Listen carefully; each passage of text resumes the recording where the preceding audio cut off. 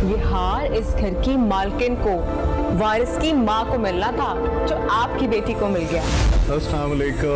सऊद यहाँ पर हिना से शादी करने के लिए आया है। शर्म करो फसादी औरत सऊद की आती उसे भी भड़काना शुरू कर दिया तुमने। महाजन घर का माहौल ऐसा तो नहीं था। अच्छा रोल प्ले कर रही है ये खराब करने में से। अच्छा बस करो तुम दोनों।